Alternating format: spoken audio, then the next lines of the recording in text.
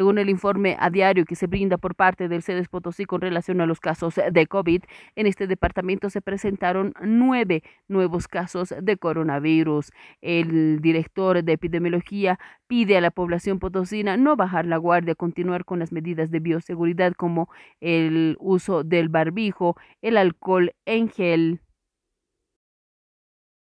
que tenemos para el día de hoy nueve casos positivos de lo que significa el coronavirus en todo el departamento de Potosí, de los cuales masculinos son cinco y femeninos son cuatro.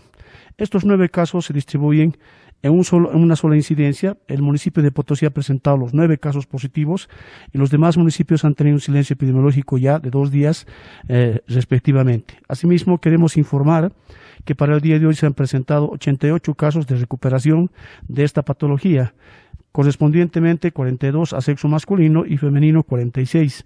Estos 88 casos corresponden tanto al municipio de Potosí, al municipio de Colchacay y al municipio de Ocurí.